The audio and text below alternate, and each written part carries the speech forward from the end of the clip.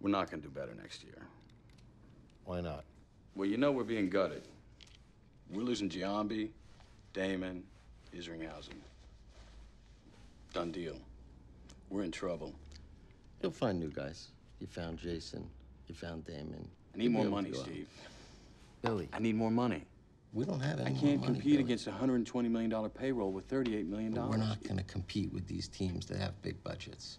We're going to work within the constraints that we have, and you're going to get out and do the best job that you can recruiting new players.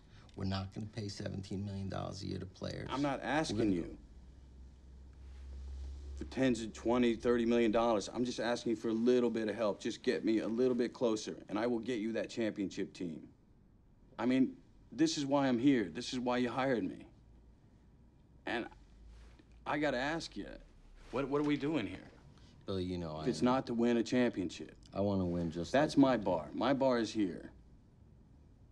My bar is to take this team to a championship.